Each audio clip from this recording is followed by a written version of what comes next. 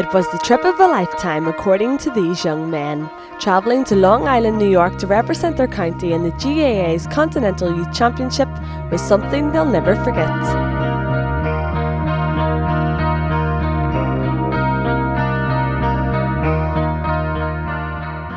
The 15 year old boys were selected from four schools across Enniskillen Portora Royal, St Michael's, St Joseph's, and Erne Integrated College. Combined together, they made up the Enniskillen Cuchulainns. Each year, Ulster GAA runs um, uh, the Cuchulainn Cup both in hurling and football, and the Enniskillen team um, competed in both.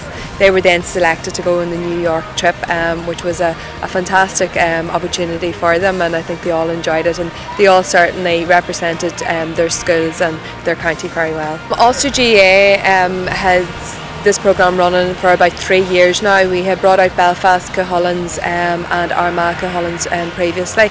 This time it was Enniskillen and um, 2011 we're still waiting to see what team will be selected for that. But it's a, it's a wonderful opportunity um, for, for boys of 15 years of age to travel to America to be part of a team like this um, and you know I think that they will remember this for the rest of their lives.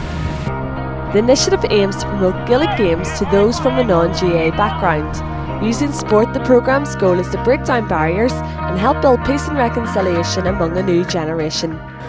Obviously, is not a Gaelic football school. Um, we're rugby and um, cricket and football and rowing, but I was delighted to um, give the opportunity to these boys to, to go and play Gaelic football in New York, and the school endorsed it. Um, 100%. Yeah, I mean, it's difficult because they haven't played the game before, but I mean, they are footballers, they play rugby, and um, Paul Callan, the, um, the coach, um, really worked hard in the last two months before they went to America, and so, um, you know, they, they improved uh, immensely and um, enjoyed the experience as well, so uh, that was it. It's, it's, it's, part of my, my job as teacher in PE to, to, um, to embrace all sports, and I think it's a wonderful opportunity for these boys to, to, to do so, and I think talking to some of the boys on the return from New York that they now are thinking of maybe joining some local clubs, which is which is fantastic. The boys returned to the county a few weeks back after narrowly missing a place in the final, and although they didn't bring back any silverware, they have a bankload of memories any amount of trophies couldn't buy. I find it quite awkward at the start as I wasn't used to playing Gaelic football, but I got used to it then after and quite enjoyed it then. It was amazing, like you never get to do anything like that again it's just really life changing. At the start I was nervous because I didn't know much people at it, only me school friends and then after that it just kind of clicked all together and we just became all friends immediately.